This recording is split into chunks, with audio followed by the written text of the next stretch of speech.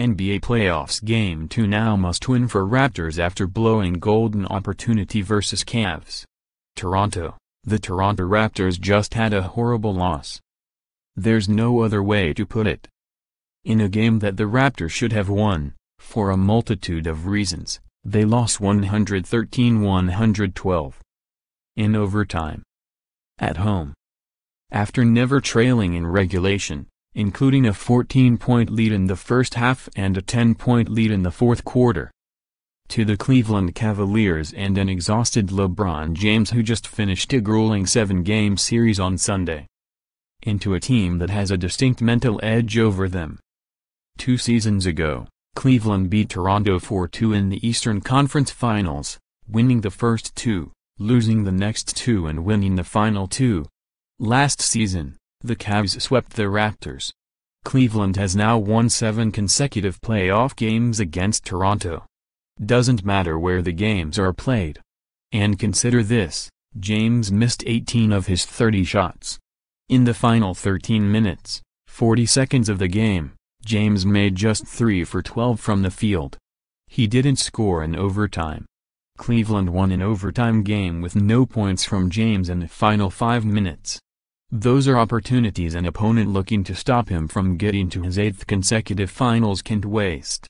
Yes, James had his 21st playoff triple-double, 26 points, 13 assists, 11 rebounds, but it wasn't one of those dominating performances. James, who battled leg cramps against the Pacers on Sunday, didn't do any on-court work Monday or Tuesday morning. When James and Kevin Love combined to shoot 15 for 43 from the field, the other team needs to win that game in the playoffs. Considering the circumstances, we definitely stole one, Cavs coach Ty Lue said. The Raptors should have won game one. They needed to win it. Beating James four times in an Eastern Conference series has been the biggest obstacle for 14 other teams in the East for the past eight seasons.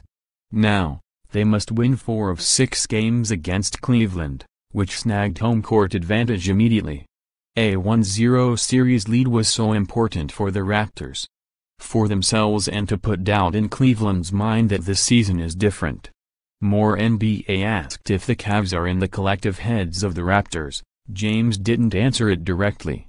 At the end of the day, the game is won between the four lines, he said. You prepare as much as you want to but you've got to go out and play between the four lines and 94 feet.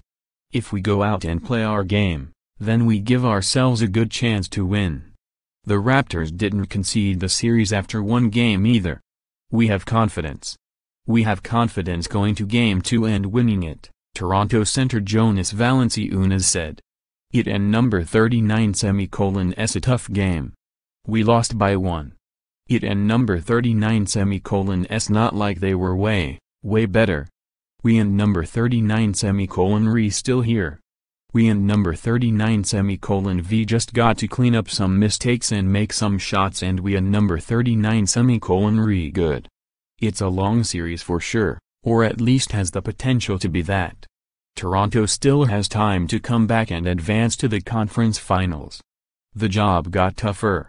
The Raptors made significant changes to the way it played, especially offensively, because it concluded what it was doing previously was not the answer. The Raptors evolved an effort to beat one team, the Cavs.